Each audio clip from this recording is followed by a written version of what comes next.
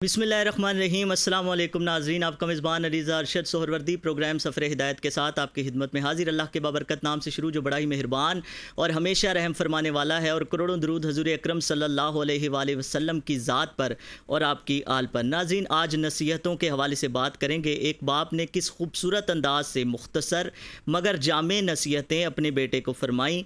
आज के दौर का बड़ा सवाल, नाजरीन, ये है कि बच्चों की तरबियत कैसे करें? लेकिन कुरान पाक ने हमें इस मसले का हल भी दे दिया। आज उस अजीम बाप की अजीम नसीहतों का ज़िक्र होगा, जो बज़ाहिर फ़र्श पर की गई, मगर अर्श पर सुनी गई। अल्लाह ताला ने हज़रत लुकमान को नबूत तो अता नहीं की, लेकिन हिकमत व दानाई से वो वाफर हिस्सा अता किया कि लफ्ज़ हिकमत, जिनके नाम का बाकायदा हवाला बन गया। जिनकी हकीमाना बातों को वो मकाम अता हुआ, नाजरीन। वो मकाम अता हुआ कि उनकी की जाने वाली नसीहतें कुरान पाक में अल्लाह तबारक व ताली ने ज़िक्र फरमाई। सूर लुकमान से एक पूरी सूरत कुरान पाक में मौजूद है, जिसकी तेरह ता उन्नीस आयात मुबारक उसकी तशरी और तफसीर के हवाले से आज इन बात करेंगे और उसमें क्या नसीहतें की गई, ये आज का हमारा मौजू गुफ्तु होगा। यानी हज़रत लुकमान की नसीहतें कुरान की रोशनी में और बात करने के लिए आज भी अहम शख्सियात हमारे साथ स्टूडियोज़ में मौजूद। डॉक्टर मियाँ अब्दुल कादिर सिकंदरी साहब हमारे साथ मौजूद हैं, मुफ्ती मोहम्मद नुमान रिजवी साहब हमारे साथ मौजूद हैं और कुछ देर बाद इन अलामा रफ़ाकत जलाली साहब भी हमें ज्वाइन कर लेंगे। इन दोनों अहबाब की जानी बढ़ते हैं फ़िलहाल और प्रोग्राम का बाकायदा आगाज़ करते हैं इन्हें खुश आमदेद भी कहते हैं। और सवालत का सिलसिला भी शुरू करते हैं। जी अस्सलाम वालेकुम वरहमतुल्लाहि वबरकातुहू। आप दोनों आप का बहुत शुक्रिया जी प्रोग्राम में। तशीफ़ आवरी का अल्लाह तबारक व ताली से दुआ गूँ कि जो कुछ कहा सुना जाए। अल्लाह तबारक व ताली हकीकी मानों में हम सबको उस पर अमल पैरा होने की हिम्मत और तोफ़ी अता फ़रमाए।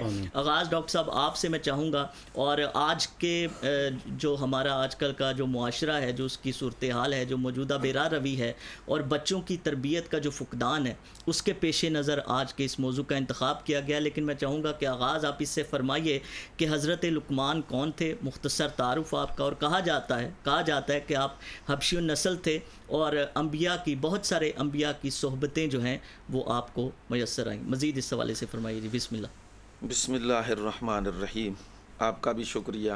आपने एक ख़ूबसूरत उनवान तजवीज़ किया और हमें मधु किया। गुफ्तु करने के लिए अल्लाह पाक आपको भी जदा खैर अता फ़रमाए। नाजरीन के लिए ये एक बहुत बड़ा अहम मौजू है। लुकमान हकीम। वाह। लुकमान हकीम ये एक ऐसी शख्सियत थे।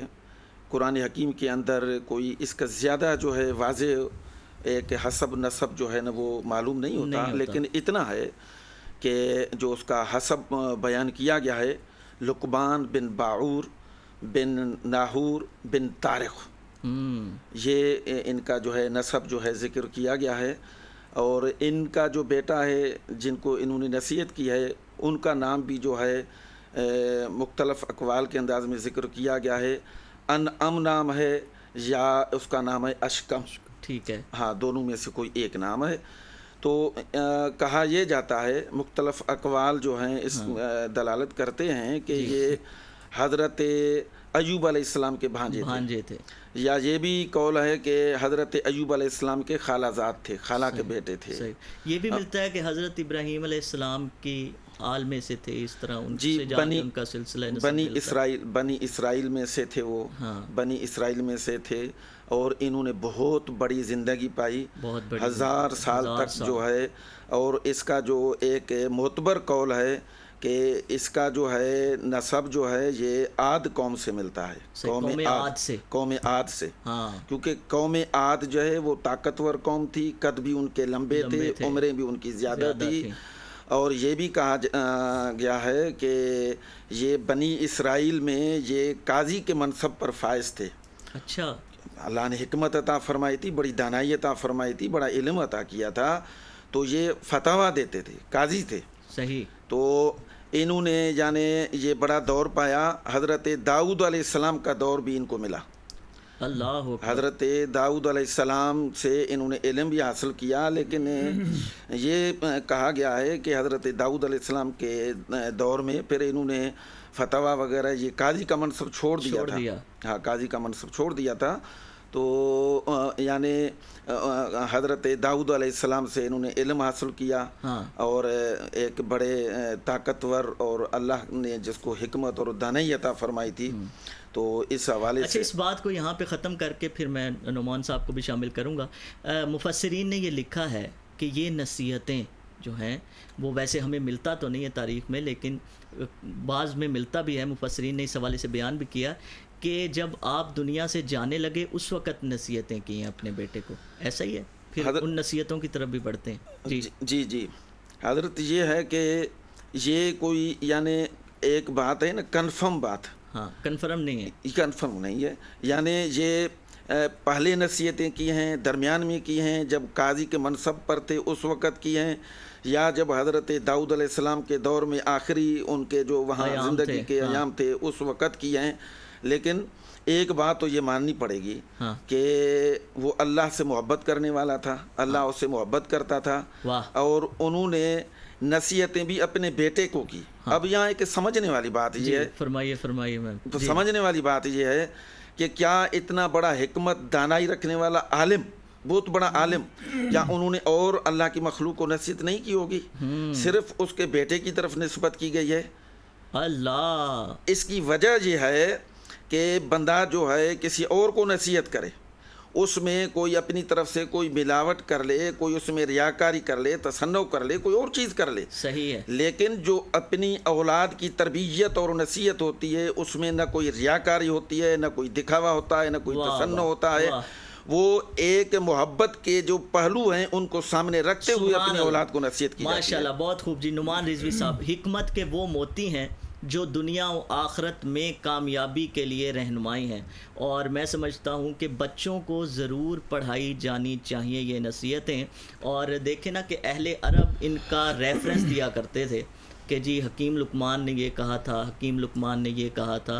तो अल्लाह तबारक व ताली ने ये बता दिया कि जिसकी तुम मिसालें देते हो, वो भी, वो अपने बच्चे को क्या नसीहतें कर रहा है? कि अल्लाह तबारक व ताली की ज़ात में किसी को शरीक मत ठहराओ, शिरक मत करो। और तुमने जो है, वो शिरक के अड्डे बनाए हुए हैं। तो ये क्या खूबसूरत अंदाज़ अल्लाह तबारक व ताली ने इख्तियार किया कुरान करीम में। जी, बिस्मिल्लाह। बसमीम सबसे पहले अली भाई, आपका बहुत शुक्रिया, आपने हमें मदू किया है। अल्लाह तबारक व ताली हम सब का यहाँ आना अपनी बारगाह में कबूल फरमाए। हज़रत लुकमान हकीम ने जो नसीहतें अपने बेटे को की हैं हम्म, सबसे जो अहम बात है वो नसीहतें अल्लाह तबारक व ताली को इतनी पसंद आई हैं कि उन नसीहतों को अल्लाह तबारक व ताली ने कुरान का हिस्सा बनाकर सीना मुस्तफ़ा पे नाजल किया। सुबहान अल्लाह और सुबहान उन नसीहतों को अल्लाह तबारक व ताली ने इतना पसंद फरमाया है हाँ। कि क़यामत तक आने वाले लोगों के लिए उसे ज़रिया नजात बना दिया है। ज़रिया हिदायत बना दिया है। इसीलिए उन नसीहतों को अल्लाह तबारक व ताली ने कुरान का हिस्सा बनाया हिस्सा बना दिया। और हकीम लुकमान के लिए कतकला में माफ़ सबसे बड़ी सुपरलेटिव डिग्री तो यही हो गई ना कि कुरान में उनका ज़िक्र हो गया और उनकी नसीहतों का ज़िक्र हो गया। ज़िक्र हो गया। बाकी मकाम एक तरफ़। हज़रत कतादा रदी अल्लाह अन्हु की एक हदीस कोट कर देता हूँ। आप रदी अल्लाह अन्हु की बड़ी एक अजीब सी रवायत है आपसे। आप फरमाते हैं कि अल्लाह ने हज़रत लुकमान हकीम को ये इख्तियार दिया था कि आप नबूवत ले लें या हिकमत ले लें। अल्लाह हज़रत लुकमान हकीम ने हिकमत को चूज़ किया है और नबूवत को छोड़ दिया है और फिर उनसे सवाल किया गया था आपने नबूवत को क्यों छोड़ा है हिकमत को? नबूवत बड़ा मनसब है हिकमत से। आपने कहा चूँकि अल्लाह ने मुझे इख्तियार दे दिया था अब अगर मैं अपने इख्तियार से नबूवत लेता तो वो जिम्मा बारी था मेरे लिए बड़ी मुश्किल हो जाती। अगर अल्लाह खुद मुझे वदियत करता इसमें भी देता। हिकमत पोशीदा है इस बात में भी। वाह तो फिर आपने हिकमत को उसको कबूल किया है और जो हिकमतें दस नसीहतें हज़रत लुकमान ने अपने बेटे को की हैं अल्लाह ने उसको कुरान का हिस्सा बनाया है। और सबसे पहली जो नसीहत है और बड़ी तरतीब से से बड़ी तरतीब से। पहली नसीहत हज़रत लुकमान हकीम ने जो बयान की है इस काला लुकमान इबनी याज़ु या बुनैया ला तुशरिक। इन शिरका लजुल्मुन अजीम। सबसे जो पहली नसीहत हज़रत लुकमान हकीम ने अपने बेटे को की है वो ये की है कि अल्लाह तबारक व ताली की ज़ात के साथ किसी को शरीक नहीं ठहराना। वाह वाह। लाभ नहीं है मेरे प्यारे बेटे। प्यारे बेटे और खिताब का जो अंदाज था अपने बेटे को मुखातब किया है। बेटा कह के नाम नहीं पुकारा। नाम नहीं पुकारा। क्योंकि बेटे में जो मोहब्बत का अनसर होता है हाँ, शायद वो नाम में नहीं होता। वाह वाह तो। अपने बेटे को ये कह के पुकार के और फिर जब बेटा आप कहेंगे तो तवज्जो मबजूल ज़्यादा हो जाती है। अच्छा ये बात है हज़रत साहब आज मौजू ऐसा है कि वो बात से बात निकल रही है। अगर आपको कोई नहीं जानता आपसे उम्र में कम है आपके बच्चे की उम्र का है तो अब आपने उसको मुखातिब करना है तो अगर आप उसको फ़ौरन कहें ना बेटा मेरी बात सुनो जी, जी। जी. या बेटी मेरी बात सुनो तो उसकी ऑटोमेटिकली तवज्जो जो है अगर उसने नहीं भी करनी है आपकी तरफ़ तो ऑटोमेटिकली आपकी तरफ़ जो है उसकी तवज्जो हो जाती है जी बिल्कुल ऐसे ही है तो हज़रत लुकमान ने जो पहली नसीहत की है वो कहा कि अल्लाह की ज़ात के साथ किसी को शरीक नहीं ठहराना है हाँ। और उसकी इबादत में उसकी रियाजात में मबूद सिर्फ़ वही है सजदे के लायक सिर्फ़ वही वही है है बेशक यानी और आगे हज़रत लकमान हकीम ने जो पहली नसीहत की है वो खुदा ताला की ज़ात के साथ शरीक नहीं ठहराना। और फिर आगे फरमाया कि शिरक जो है वो सबसे बड़ा जुल्म है। है। सबसे बड़ा जुल्म शिरक है।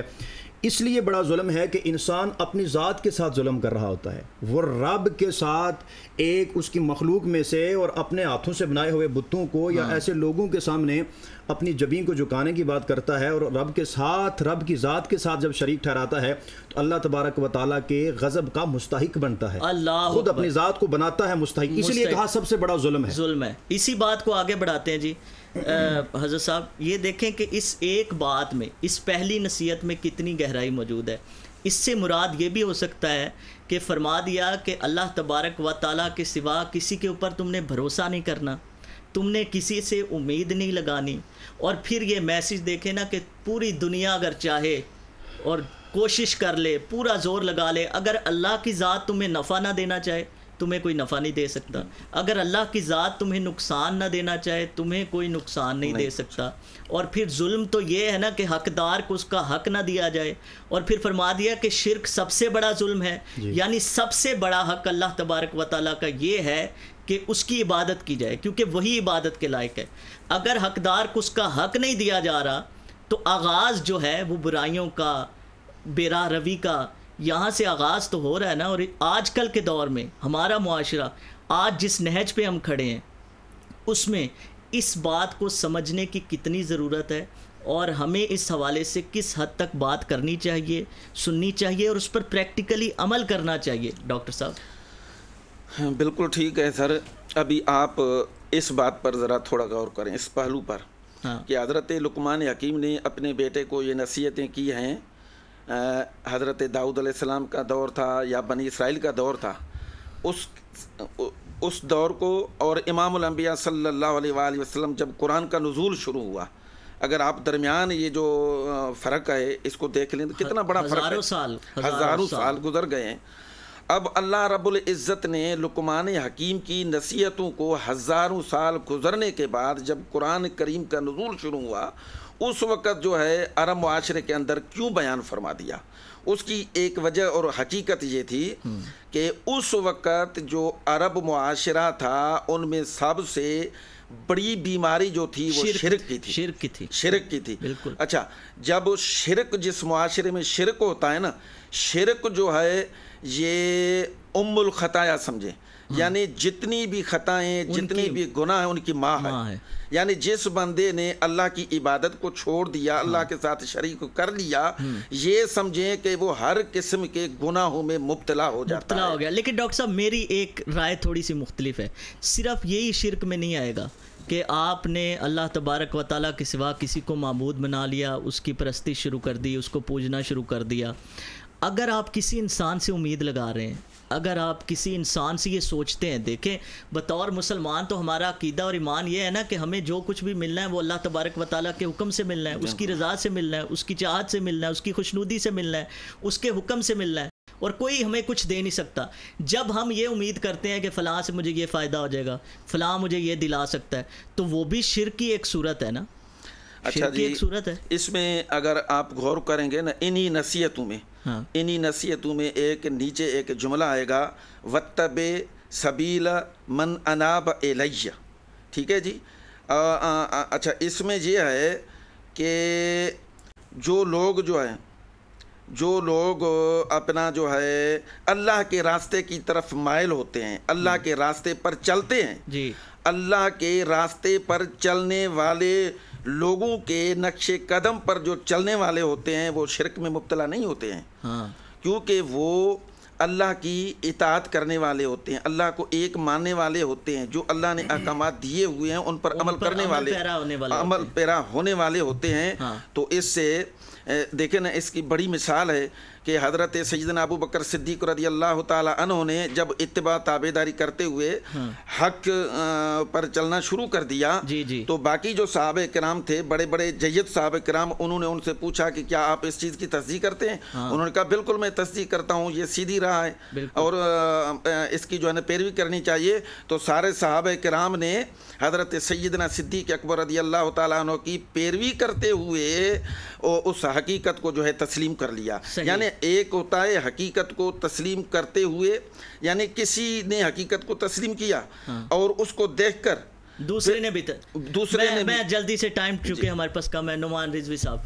कोई फरमाया आपने फिर कि कोई अच्छाई का काम है या कोई बुराई का काम है और चाहे वो कहीं भी किया जाए और राई के दाने के बराबर हो जो किसी चट्टान में हो या पत्थर के अंदर घुसकर जो है वो किया जाए अल्लाह उसे ले आएगा क़यामत वाले दिन और अल्लाह बहुत बारीक भी और बहुत बाखबर है। ये भी कैसा खूबसूरत पैगाम है कैसा खूबसूरत मैसेज है कितनी गहराई है इसमें? बिस्मिल्लाह हज़रत लुकमान ने जो तीसरी नसीहत की थी अपने बेटे को पहली नसीहत की थी शिरक अल्लाह की ज़ात के साथ नहीं करना। दूसरी नसीहत की थी अपने वालदेन की इतात और फरमा बरदारी सही है। ये तीसरी नसीहत हज़रत लकमान ने अपने बेटे को की थी कि अगर जो भी तुम अमल करोगे चाहे वो राई के दाने के बराबर की क्यों न हो हाँ। एक मिसाल दे के समझाया था अगर चट्टान के नीचे हो या ज़मीन और आसमान में हाँ। जहाँ कहीं भी होगा अल्लाह तबारक व ताली तुम्हारे उस अमल से बाखबर है।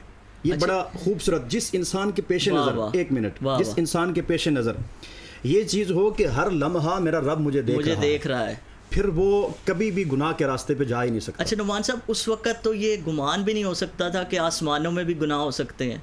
देखें कुरान ने साढ़े चौदह सौ साल पहले आज देखें अगर कोई जहाज़ में बैठ कर शराब पीता है ठीक है कोई झूठ बोलता है कोई गलतकारी करता है तो वो देखे ना कि वो फ़जाओं में गुनाह हो रहा है ना। जी। तो साढ़े चौदह सौ साल पहले बता दिया कुरान ने कि अगर गुनाह कहीं भी करते हो उस वक्त तो ये इमेजिन भी नहीं किया जा सकता था ना। लेकिन आज हो रहा है। हो रहा है। ऐसे ही अनुमान साहब। जी बिल्कुल ऐसे ही है। और बल्कि इमामुलंबिया एक हदीस कोट करना चाहूँगा। अलैहिस्सलाम तशरीफ़ फरमा थे सहाबा कराम रिदवान ताली मजमाइन की मजलस थी। और जबरील अमीर रसोल्ला की बारगाह में तशरीफ़ लाई बड़ी मशहूर हदीस है। और आप जो है वो इंसानी शक्ल में थे। सफ़ेद लबास में हजूर सलाम की बारगाह में तशरीफ़ लाए। तो आपने ना सवाल किया आकाल सलाम से। उन सवालों में एक सवाल ये था कि मल एहसान एहसान क्या है? एहसान क्या है? तो इमामुलंबिया अलैहिस्सलाम ने जो एहसान की तारीफ़ की है बड़ी खूबसूरत है। आपने फरमाया एहसान ये है कि जब तुम नमाज़ की हालत में हो हालत नमाज़ में तुम्हारे अंदर ये कैफियत हो कि तुम रब को देख रहे हो। वाह वाह वाह और अगर तुम्हारी ये कैफियत नहीं हो सकती कि तुम रब को देख रहे हो कम अज कम ये कैफियत हो कि रब तुझे देख तुझे रहा है देख रहा है नमाज़ के अंदर ये नमाज़ के सिर्फ़ अंदर की बात नहीं थी हाँ। नमाज़ के बाहर भी इंसान की ये कैफियत होनी चाहिए जिसके पेश नज़र हर लम्हा ये हो कि मेरा रब मुझे देख रहा है मैं जहाँ भी गुनाह करूँगा। तन्हाई में करूँ या लोगों के सामने करूँ हाँ। पसे पर्दा करूँ जिस बंदे के पेश नज़र ये हो कि अगर मैं सामान तोलते वक्त अगर मैं कमी करूँगा तो मेरा खुदा तो मुझे, मुझे देख देख रहा है है। गाहक देख रहा है या नहीं देख रहा खुदा देख रहा है। दूध में मिलावट करते वक्त अल्लाह। इंसान के पेश नज़र ये हो यार जिसको मैं दूध दूँगा हम्म। वो तो नहीं देख रहा लेकिन मेरा खुदा मुझे देख रहा है। मैं एक बात अर्ज़ करूँ और फिर आपको भी शामिल करूँगा कलाम भी शामिल करूँगा। आज तक मैंने वैसे की नहीं है इस तरह ऑन एयर या लोगों के सामने। अब बात चूँकि रेलिवेंट है और वो कुरान पाक का हिस्सा है तो इसलिए मैं बयान करने लगा। मेरी वालदा का इंतकाल हुआ 2011 में। तो उसके कुछ अरसा के बाद मतलब कुछ दिनों के बाद ही मैंने उनको ख्वाब में देखा और मैंने उनसे पूछा, ख्वाब में कि जो हम सुनते हैं कि इस तरह हिसाब किताब होगा और मुनकर नकीर आएँगे, क्या ये हकीकत है? तो आप कहने लगी कि बिल्कुल हकीकत है। फिर उन्होंने मुझे बताया कि वो अरबी में इस तरह सवाल करते हैं इंसान से। तो मैंने उनसे पूछा कि फिर क्या हुआ? तो उन्होंने कहा कि फिर मुझे नहीं पता, फिर मैं जो है वो मुझे नींद आ गई और मैं सो गई। वो भी हदीस शरीफ है। सरकार दोलम सल्लल्लाहु अलैहि वसल्लम की कि उसको कहा जाएगा कि तुम सो जाओ। नुम का हाँ नहीं दुल्हन की तरह सो जाओ तुम्हें क्यामत तक कोई नहीं छेड़ेगा। अच्छा अगली बात जो जो मोस्ट रेलिवेंट है वो नुमान साहब सुनने वाली है। मैंने उनसे फिर पूछा कि ये जो इंसान का हिसाब किताब है इस हवाले से क्या है कि किन चीज़ों के बारे में पूछा जाता है? तो उन्होंने मुझे इशारा करके मुझे अभी तक याद है ग्यारह बारह साल पहले की बात है ऐसे चुटकी जिस तरह इंसान बजाता है ना ये अभी जो हम बात कर रहे थे ज़रा आपने कहा मुझे कहा ख्वाब में कि इसका भी जवाब देना पड़ता है इंसान को। तो ये जो बात है देखें ज़रा बराबर भी कोई नेकी करेगा या ज़रा बराबर भी बुराई करेगा उसको देखेगा क्योंकि अल्लाह बारीक भी है और ख़बरदार है। जी इस पर मुख्तसर रिस्पॉन्स आप दोनों अब आपका फिर मैं कलाम शामिल करूँगा। पहले आप डॉक्टर साहब फरमा दी लेकिन बिल्कुल मुख्तसर। इसमें हज़रत आप देख लें कि अल्लाह रब्बुल इज़्ज़त जो है बिल्कुल आयत करीमा के अंदर भी वजाहत है कि कोई भी चीज़ राई के दाने के बराबर अब राई का दाना अब यहाँ सामने रखा जाए यहाँ फिर भी हम बड़ी तवज्जो के साथ देखते हैं यहाँ सामने है। अगर ये किसी पत्थर चट्टान के पीछे हो। या ये आसमानों में हो हाँ। तो ये हमें नज़र नहीं आता। हम्म। यानी अल्लाह रब्बुल इज़्ज़त की वो ज़ात है कि ये राई का दाना ज़ाहिर हो चटाई में छुपा हुआ हो ज़मीनों में हो आसमानी में हो जहाँ कहीं भी हो अल्लाह रब्बुल इज़्ज़त इसको देख रहा है। पैगाम ये है पैगाम। ये है। पैगाम ये है कि इंसान क्योंकि अरब माशरे के अंदर अरब माशरे के अंदर ये वबा फैल चुकी थी वो ये समझते थे अगर हम कोई ज़ाहरी गुनाह करते हैं तो वो अल्लाह देख लेता है। अगर हम छुप कर करते हैं वो अल्लाह नहीं देखता। वो अल्लाह नहीं देखता। ठीक है मैं नमाज़ के हवाले से भी बात करनी है नुमान साहब मुख्तसर इस पर रिस्पॉन्स पर मैं मतलब ये जो मिसाल मुझे समझाने के लिए उन्होंने दी ये बिल्कुल ठीक दी कि ज़रा बराबर अब इससे ज़्यादा आसान तो कुछ नहीं हो सकता ना इंसान के लिए कि हाथ को अपने ऐसे करे। जी बिल्कुल ऐसे ही है चूँकि किरामन कातबीन जो दोनों कंधों पे हमारे बैठे हुए हैं वो हर लम्हा जिस तरह अभी हम कैमरे के सामने बैठे हुए और हमारी एक एक जो हरकत और है, सकनात है जो सामने है वो कैमरे के अंदर रिकॉर्ड हो रही है। इसी तरह अल्लाह ने दो कैमरा मैन हमारे जो है ना दाएँ और बाएँ बैठा दिए हैं जो हमारी ज़िंदगी के एक एक लम्हे को एक एक चूँकि उनको तो नींद आती नहीं है। अल्लाह। मैं और आप सो जाते हैं लेकिन इनको भी नींद नहीं आती। जिस तरह खुदा को नींद नहीं आती जिस तरह अल्लाह तबारक व ताली सोने से पाक है इस तरह अल्लाह ने अपने फरिश्तों को बिला तशबी व तमसील अल्लाह ने अपने फरिश्तों को जो नौकरी और ड्यूटी लगाई है। उनको भी नींद नहीं आती अपने काम से। वो हर लम्हा हर सांस हमें देख रहे हैं हमारी ज़िंदगी की एक एक सांस जो है वो उनके कैमरे में रिकॉर्ड हो रही है। जब ज़िंदगी का एक एक लम्हा एक एक सांस हमारी रिकॉर्ड हो रही है फिर बात तो यही है चुटकी वाली फिर एक ज़र्रा जो है वो वो भी उनसे छुपा हुआ नहीं हो सकता। चाहे वो आप जो है वो पसे पर्दा करें या लोगों के सामने करें एक एक चीज़ जो है वो। जवाब इंसान को उसका देना होगा। एक कलाम है जी बहुत खूबसूरत लामा सैद मोहम्मद रियाजुद्दीन सरवदी अलैह का उसके कुछ अशार और फिर नमाज़ के हवाले से आपने ये भी फरमाया कि नमाज़ कायम करना हाँ। अपने बेटे को जो आपकी नसीहतें उस हवाले से बात करते हैं। सनाए मुहम्मद। जो करते रहेंगे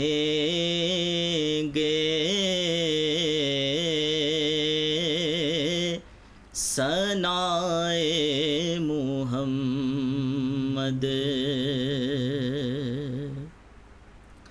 सनाए मुहम्मद। जो करते रहेंगे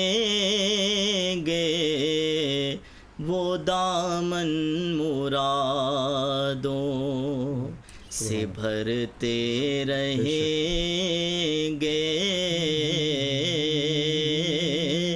वो दामन मुरादों। उधर सरे उधर अकीदत से झुकते रहेंगे। उधर सर अकीदत से झुकते रहेंगे। जिधर से मोहम्मद गुजरते रहेंगे। जिधर से मोहम्मद। हयातुन पे कुर्बान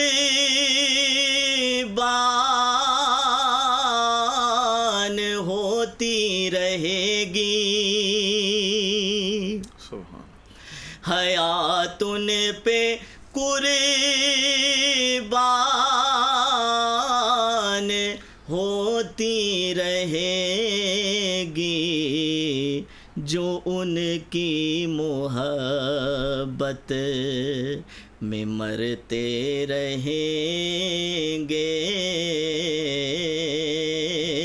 जो उनकी मोहब्बत वो लम्हात वो लम्हात वो लम्हात बख्शिश का सामान होंगे। अच्छा। वो लम्हात बख्शिश का सामान होंगे जो उनकी मोहब्बत में गुजरते रहेंगे। सनाए मोहम्मद रियाज उनके दाम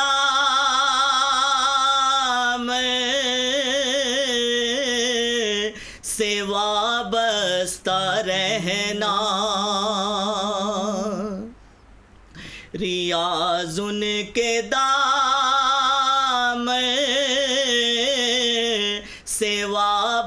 वाबस्ता रहना तेरे काम बिगड़े संवरते रहेंगे।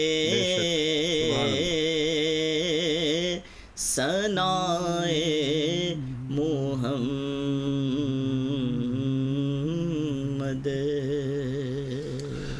माशाल्लाह बड़ा खूबसूरत जजाकल्ला जी आपका जो कि समात है अच्छा वो मैं अर्ज़ कर रहा था नमाज़ के हवाले से।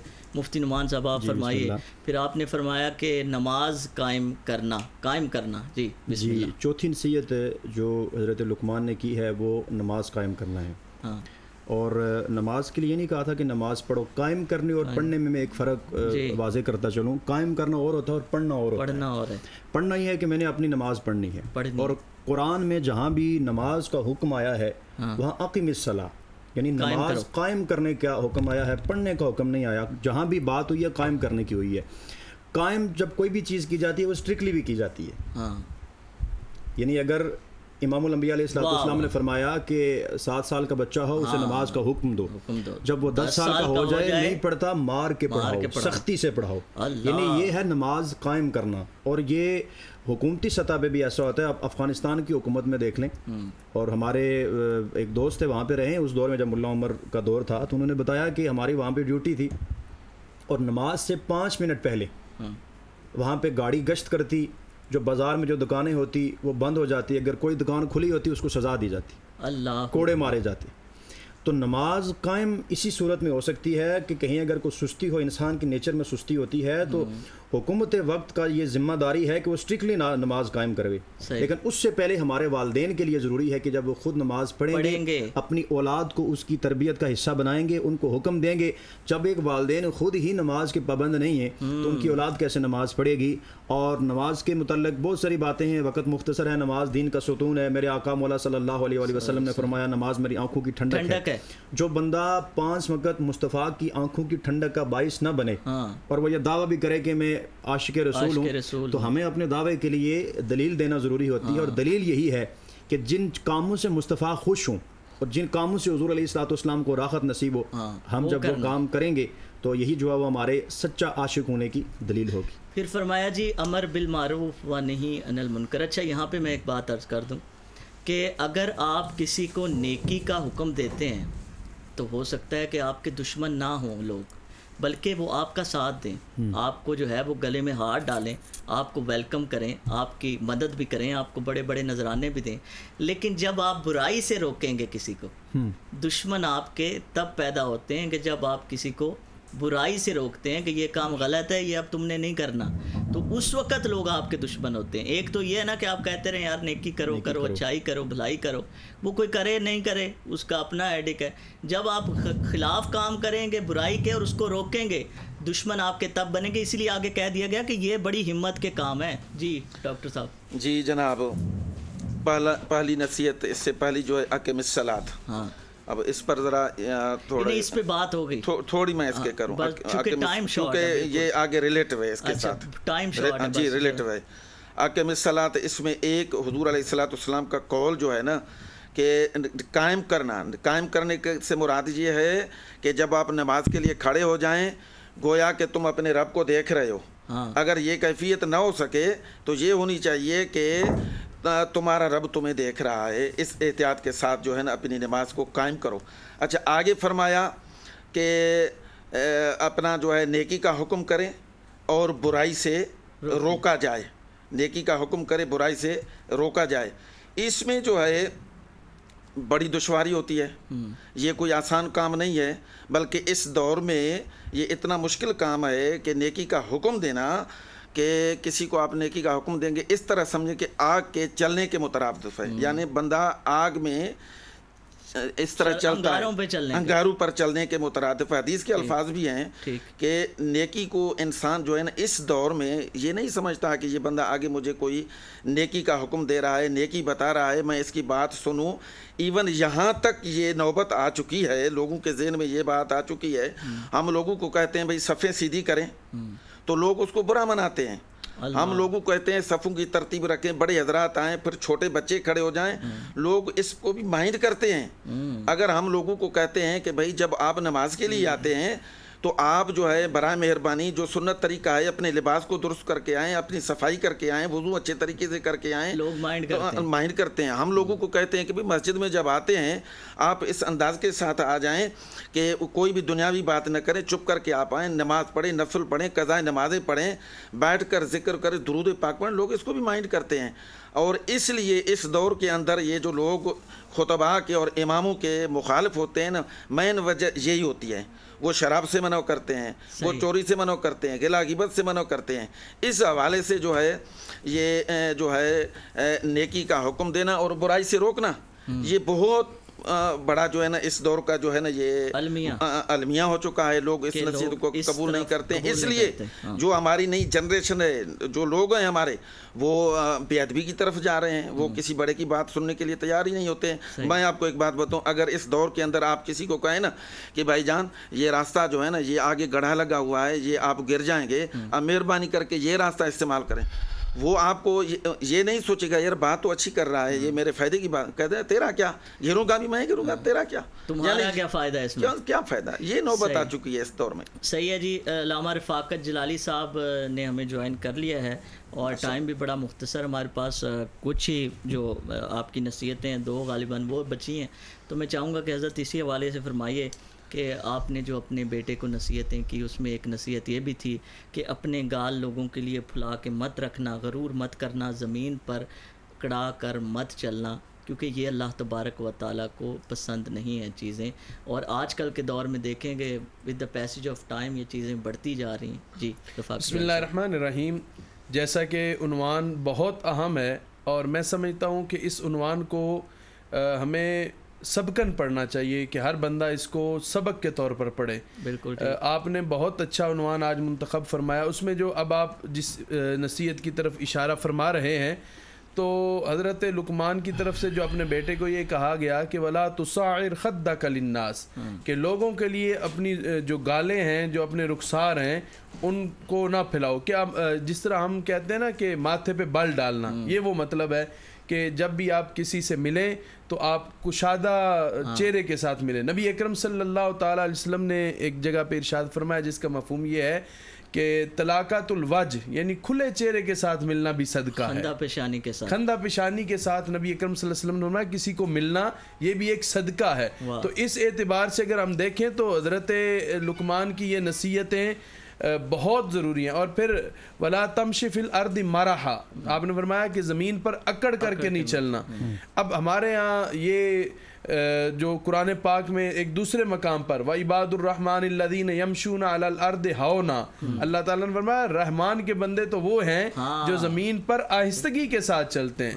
हाँ और इन दोनों को अगर मिला के पढ़ा जाए तो गोया के साबित ये होगा कि रहमान का बंदा जो अल्लाह ताला का ख़ास बंदा होगा वो वही होगा जो आजजी और इनकसारी के साथ। नबी अकरम सल्लल्लाहु अलैहि वसल्लम के बारे में भी है ना कि हजूर अलैहिस्सलाम अपनी आँखों को झुका करके चलते कर थे। चलते। और इसी तरह हज़रत उस्मान गनी रदी अल्लाह ताला अन्हु के वाले से आपकी शर्म हया के वाला से।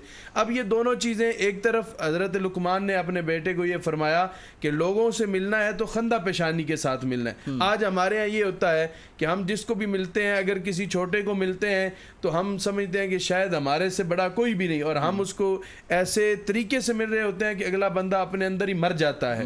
और जब किसी बड़े को मिलना होता है तो हम इतनी उसकी खुशामद करते हैं कि उस वक्त भी खुशामद की इंतहा क्रॉस कर जाते हैं। मुनाफिकाना रवैया ये- हमारा जो है ना वो हमारे मुआशरे का अलमिया। अलमिया बन चुका है। और देखें इस नसीहत के अंदर ये चीज़ मौजूद है कि आप लोगों से खंदा पेशानी वो बड़ा हो या छोटा वो कोई मालदार हो लैंडलाट हो या कोई गरीब आदमी हो उसके साथ आप जो है वो खंदा पेशानी के साथ मिले। दोहरा म्यार नहीं होना दोहरा। मैार नहीं होना चाहिए। और फिर दूसरी तरफ़ अगर अल्लाह ताला आपको दौलत इज़्ज़त शोहरत अता फरमाता है तो उसका हरगिज़ मतलब ये नहीं है कि आप ज़मीन पर अकड़ करके चलें।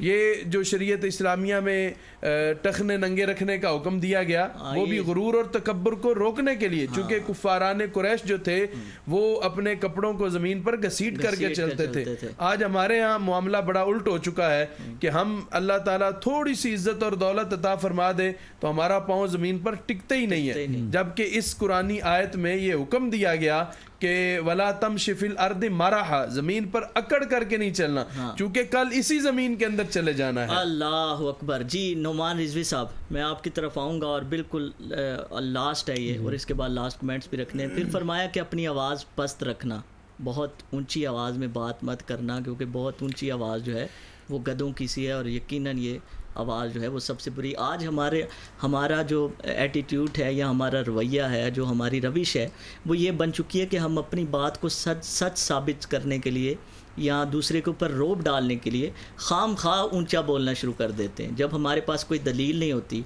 जब हमारे पास कोई अथेंटिक जो है वो जवाब नहीं होता तो हम ऊँचा बोलना शुरू कर देते हैं। ये सोच करके अगर हम ऊँचा बोलेंगे तो अगला दब जाएगा। जी जी। हमारे हज़रत लकमान ने जो ये नसीहत की है आखिरी नसीहत कि अपनी आवाज़ को पस्त रखना है अगर इसमें भी हम गौर करें तो एक तरबियत का बड़ा पहलू इसमें जो है वो हमें नज़र आता है। कि आप किसी भी एक आजकल जो बच्चा भी है ना बच्चा छोटा उसको भी अगर आप किसी धीमे लहजे में और आहिस्तगी से कोई बात कहेंगे तो वो आपकी बात को मान लेगा। और उसी अगर बच्चे को आप थोड़े सी ऊँची आवाज़ से और आपके जो गुस्से वाली आवाज़ हो बुलंद आवाज़ से कोई बात करेंगे तो वो बच्चा वो मानने के लिए तैयार नहीं होता वो भी आगे से अकड़ जाता है। तो दीन इस्लाम की जो तबलीग का जो अंदाज़ भी बताया गया है वो भी यही है कि आपने जब बात करनी है तो अच्छे उसलूब के साथ करनी नरमी है के साथ। नरमी के साथ करनी है ताकि जो आपकी बात किसी के दिल पे जो है वो असर कर जाए तो बुलंद आवाज़ से बात करना वैसे भी एक जो है वो माशरती बुराई भी है। एक दूसरा इंसान उसको पसंद ही नहीं करता। जब आप नसीहत करें और नसीहत किसी बात को नेकी का हुक्म दें या बुराई से रोकें वही बात जब आप बुलंद आवाज़ से करेंगे और इस अंदाज से करेंगे इमाम की बारगाह के जो आदाब अल्लाह तबारक व ताली ने अपने महबूब करीम अलैहि के सहाबा कराम को बताए थे वो भी और ईमान वालों को ला तरफ़ू मेरे आका की आवाज़ से आवाज़ को बुलंद नहीं करना यहाँ पे करनी। मुतलक कहा गया आवाज़ को बुलंद नहीं करना। ये नहीं कहा गया आपने मदा में नहीं करना या जम में नहीं करना। आवाज़ को बुलंद नहीं करना। और मेरे मेरे नबी अलैहिस्सलाम के सहाबी थे गालिबन नाम मेरे जहन से उतर गया है। उनकी आवाज़ कदरे ऊँची थी। वो जाके ना अपने आप को अपने घर में बंद करके रोना शुरू। आज सुनते आहिस्ता बुलंद सुनते थे ना? तो वो उस हिसाब से कदरे कदरे खुद ब खुद एक जो नेचुरली साबित बिन कैस रज़ी नेचुरली उनकी आवाज़ साबित बिन कैस रदी अल्लाह ताला हो तो आप जाके ना अपना कमरा बंद करके रोना शुरू हो जाते हैं। सरकार की बारगाह में तशरीफ़ नहीं लाए तो हजूर ने पूछा कि मेरा गुलाम किधर है? जब बुला के लाया गया तो आपने कहा कि मेरी आवाज़ ऊँची है तो मैं समझता हूँ कि शायद ये आयत मेरे लिए ही नाजिल हुई है। मेरा तो अमाल ज़ाया हो गया लुट गया। तो। इमाम अंबिया ने फरमाया मेरे गुलाम तू तो मुझसे मोहब्बत करने वाला है। यानी समझाना मकसूद ये है कि आवाज़ ऊँचा करना ये अदब के ख़िलाफ़ है। हाँ अदब के खिलाफ अदब है। के खिलाफ चाहे है। आप लड़ाई में हैं चाहे आप किसी प्रोग्राम में बैठे हैं चाहे आप कोई निजी महफिल में बैठे हैं ये खिलाफ आदाब है और ऐसा नहीं होना चाहिए। आपने बात ऐसी छेड़ी मैं सिर्फ़ एक शेर पेश कर दूँ आला हज़रत का और फिर लास्ट कमेंट्स आपके ले लूँ और हमारे इंशाल्लाह प्रोग्राम का अख्ताम।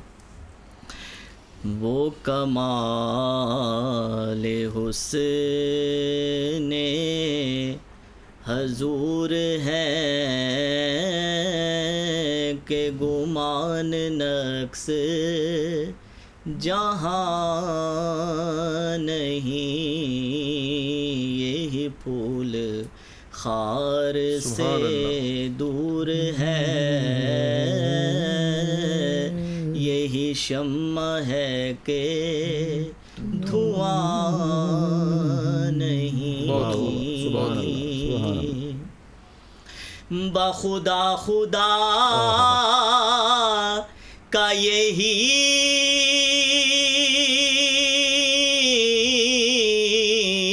है दर। नहीं कोई इसमें मफर मकर। बखुदा खुदा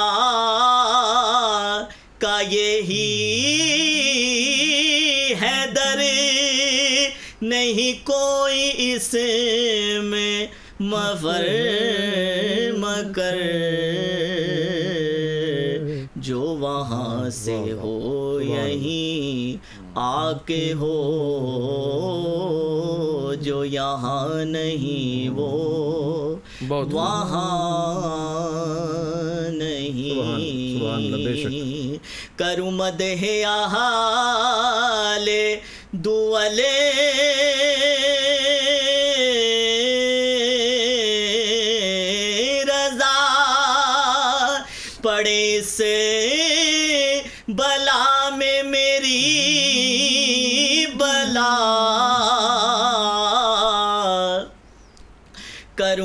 करूँ आहाले दुअल रजा पड़े इस बला में मेरी बला। मैं गदा हूँ अपने करीम का। मेरा दीन पारा ना। माशाल्लाह माशाल्लाह जी मियाँ अब्दुल कादिर सिकंदरी साहब लास्ट कमेंट्स पैगाम मैसेज ये जो नसीहतें तकरीबन दस नसीहतें लुकमान हकीमी की यहाँ बयान की गई जी। अल्लाह की इबादत करना हाँ। और अपने वालदेन का अदब व एहतराम करना उनकी खिदमत करना हसन अखलाक के साथ पेश आना और नमाज़ को कायम करना और जो भी बंदा अमल करे अल्लाह से डरे और इस अंदाज के साथ करे कि मेरा रब मुझे देख मुझे रहा है। देख रहा है। अगर मैं कुछ कोई गलत करूँगा तो मुझे सज़ा मिलेगी। यानी अल्लाह से बंदा डरे। तो इस अंदाज में जो है अपने जो है ना अमाल करना और फिर नमाज़ को कायम कायम करना करना। नेकी का हुक्म देना और फिर मैन इसमें जो एक चीज़ बताई कि सब्र करना। सही। अब ये एक ऐसी चीज़ है।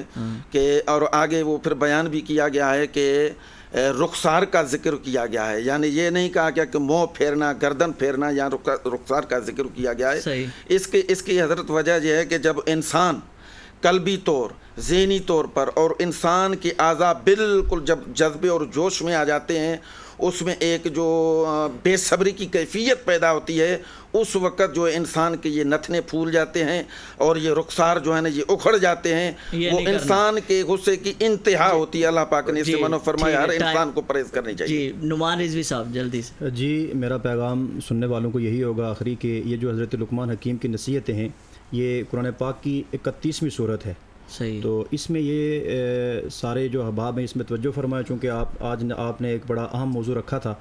अहबाब की तवज्जो इस तरफ़ मबजूल हो गई है। जहाँ जो जो अहबाब भी हमें सुन रहे हैं वो आज जो है ना खुद ये सूरत खोलें और, और इसकी तफसीर पढ़ें तर्जमा पढ़ें और इसको जो है वो तरबियती हवाले से अपनी औलाद को भी बताएँ। कम अज़ कम अगर सारी नहीं हो सकती मेरी आखिरी रिक्वेस्ट ये होगी कम अज़ कम इन दस नसीहतों से हर बंदा ये तैयार कर ले कि कम अज़ कम तीन महीने हाँ। तीन पे महीने अमल। अगर एक पे भी कर दें फिर भी लेकिन तीन अगर दस में से करेंगे तो इंशाल्लाह तो हमारी ज़िंदगी में जो है हो जाएगा। जी है मैं इसमें आखिर में सिर्फ़ इतना ही अर्ज़ करूँगा कि ये जो दस नसीहतें हैं ये हमारे स्कूल यूनिवर्सिटी मदारस के निसाब में सबकन पढ़ानी चाहिए। इसकी बहुत ज़्यादा ज़रूरत है कि देखिए सिर्फ़ ये नसीहतें मदारस में अब तफसीर पढ़ाई जाती है इसके अंदर से गुजरा तो जाता है लेकिन इसको निसाब का हिस्सा बना के अलग से इसको स्कूल में अपने बच्चों को हर क्लास के अंदर इसकी तरबियत हो तो मेरे ख्याल में माशरे में इनकलाब आ सकता है कि जब बच्चा हर क्लास में बार बार इनको रिपीट करेगा तो उम्मीद है उस पर वो अमल भी करेगा। तो इसको हमें अपने निसाब का हिस्सा बनाने की बहुत ज़्यादा ज़रूरत चलें जी बहुत शुक्रिया आप तीनों। आपका नाजीन आज बात हुई हज़रत लुकमान की नसीहतों के हवाले से। अल्लाह तबारक व ताली से दुआ गो हूँ। जो कुछ कहा सुना गया अल्लाह तबारक व ताली हकीकी मानों में हम सबको उस पर पैरा होने की मत और तोफ़ी अता फरमाए। अल्लाह तबारक व ताली आपकी ज़िंदगी में आसानियाँ पैदा करे आसानियाँ तकसीम करने की तोफ़ी अता फरमाए। तो इस्तफ़ार करती रही दुआ भी है शिफा भी इन आपसे मुलाकात होगी। नेक्स्ट प्रोग्राम में नए मेहमान और मौजू के साथ। तब तक अपना और अपने हल्के अबाब में जीज़ोकात का बहुत ख्याल रखिएगा और अली रजा अरशद सोरवर्दी को दीजिए इजाज़त। अल्लाह निगेबान।